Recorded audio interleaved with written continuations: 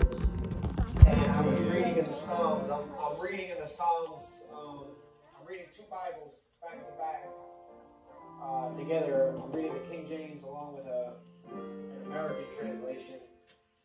Um,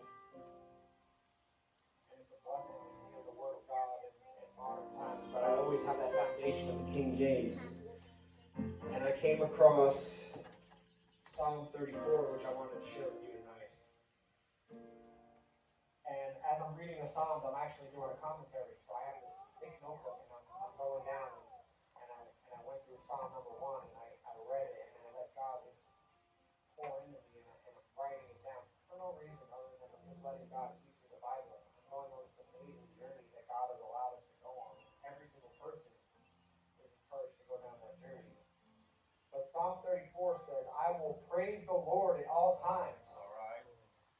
I will constantly speak, and I'm in the New Living Translation. I, I, I just want you to hear it in our language, right? I will praise the Lord at all times, and I will constantly speak his praises. I will boast only in the Lord.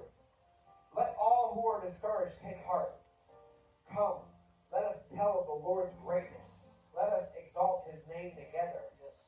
I prayed to the Lord, and he answered me, freeing me from all my fears. Those who look to him for help will be radiant with joy. No shadow of shame will darken their faces. I cried out to the Lord in my suffering, and he heard me. He set me free from all my fears. For the angel of the Lord guards all who fear him, and he rescues them. Taste and see that the Lord is good. Yes. Oh, the joys of those who trust in him. Let the Lord's people show him reverence. Yes. For those who honor him will have all they need. Even strong young lions sometimes go hungry, but those who trust in the Lord will never lack any good thing. Come, my children, listen to me, and I will teach you to, to fear the Lord. Do any of you want to live a life that is long as long and good? Then watch your tongue. Keep your lips from telling lies. Turn away from evil and do good. Work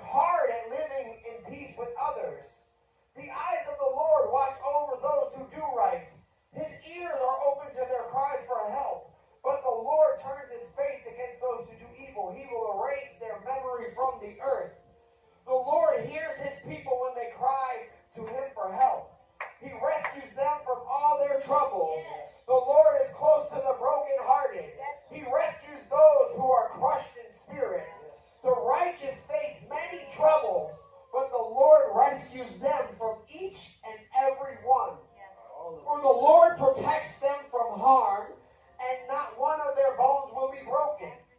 Calamity will surely overtake the wicked, but those who hate who hate the righteous will be punished. But the Lord will redeem those who serve him. Everyone who trusts in him will be freely pardoned.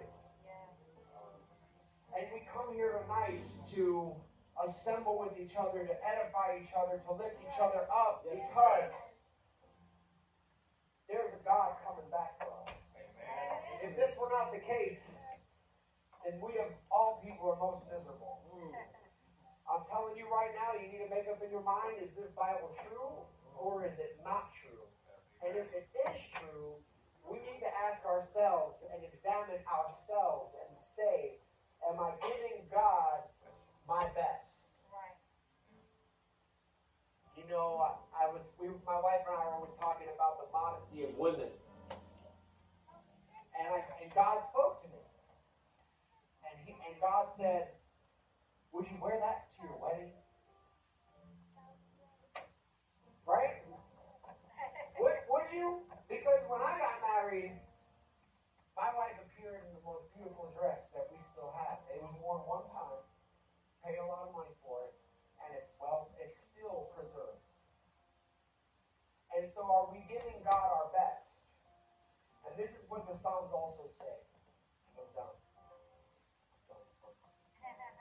The Psalm says that those that seek the Lord will praise Him, That's right.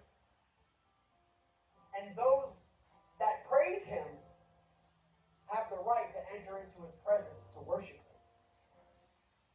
So the clear indication that you're on board with God and God is really your Father is that we look around and you're praising. This is the next level. I don't know who needs to hear this, but this is the next level of your walk with God. God is asking you to praise Him. Everywhere you go, lift up that name of Jesus Christ. Everywhere you go, praise Him. That lady is going to get the help she needs because we talk to God, and when we talk to God, we get an answer from God. And so, Father, we pray right now that that lady with the car gets the help she needs in Jesus' name. And I'm going to close with this, and I'm done. This is what the Bible says. I'm going to read it to you right now. This is going to bless your life, Brother Jacob. I know it. This is going to bless everybody's life in here. Hebrews chapter 7, verse 7. It says in this translation, and without question, the person who has the power to bless is always greater than the person who is blessed. Hmm. Let me read that again. I found this Bible when I was dem- demolishing a house. And it's another, tra- I've never read another translation but the King James. So I, I said, let me go to Acts 2.38 and see what it says. And this is more one God, Acts 2.38 than the King. It goes into, it goes into depth in my language. Let me read that again to you. And without question, the person who has the power to bless is always greater than the person who is blessed.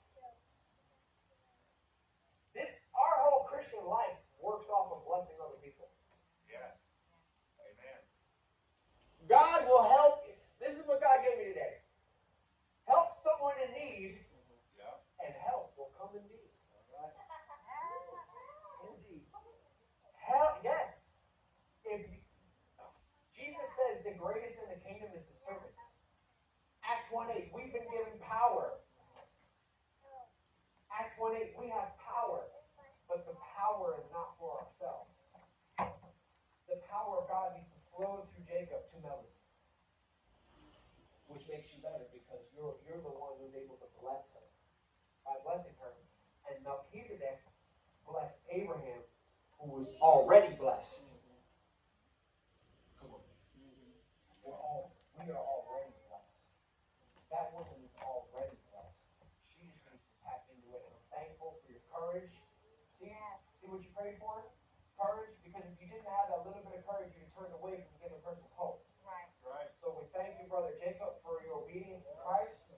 I'm excited for Pastor to come up and give us a message. Amen. I hope everybody's edified. The key to your next level is praise and go out and help somebody.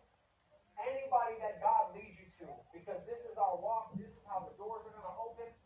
Here is your pastor of True Christian Church, Pastor Jeff Dixon. Amen. Well, we're back again. I don't know how many is going to like this lesson.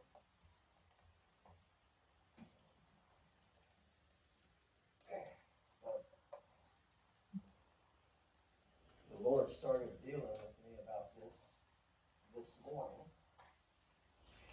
I was going to preach on angels tonight. Okay.